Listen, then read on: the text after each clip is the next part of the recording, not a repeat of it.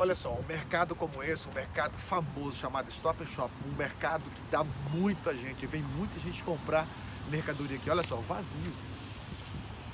Muito pouco em relação em relação à quantidade de mercadoria que o mercado fornece. Olha,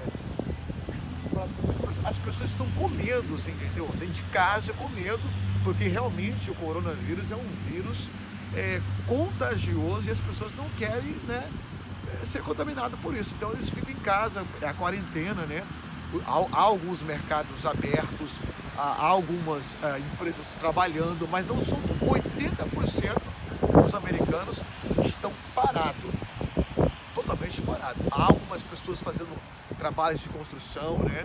Abertos ainda, mas até semana que vem eles estão querendo fechar geral, né?